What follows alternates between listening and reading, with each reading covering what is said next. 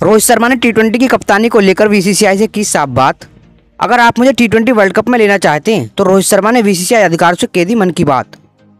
T world cup 2023 में अब महज छह महीने का वक्त बाकी है। ऐसे में कहा जा रहा है कि रोहित शर्मा इस टूर्नामेंट में अपने भाग लेने के संबंध में बीसीसीआई अधिकारियों से स्पष्ट बात कर चुके हैं।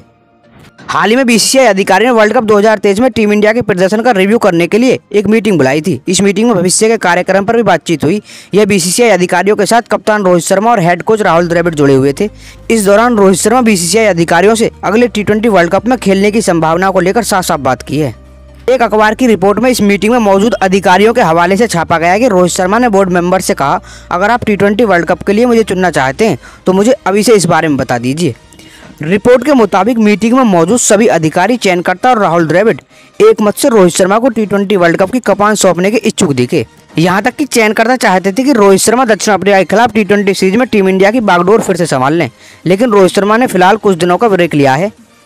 बीसीसीआई की यह रिव्यू मीटिंग नई दिल्ली में आयोजित की गई थी। हालाँकि रोहित शर्मा इस मीटिंग में वीडियो कॉन्फ्रेंस के ज़रिए जुड़े हुए थे। दरअसल भारतीय कप्तान इन दिनों लंदन में छुट्टियाँ मना रहे हैं। वर्ल्ड कप के बाद वह लंदन निकल गए थे।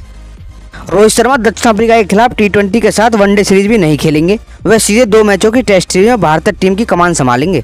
रोहित की ब्रेक के रिक्वेस्ट के कारण ही चयनकर्ताओं ने दक्षिण अफ्रीका के खिलाफ तीन मैचों की टी सीरीज़ की कप्तानी सूर्य कुमार यादव को थमाई है। वहीं वनडे सीरीज़ की कमान के राहुल संभालेंगे। दोस्तों वर्ल्ड कप में टी की कप्तानी के लिए रोहित शर्मा और हार्दिक पांड्या में किसकी कप्तानी बेस्ट है? हमें कमेंट बॉक्स में ज़रूर बताएँ।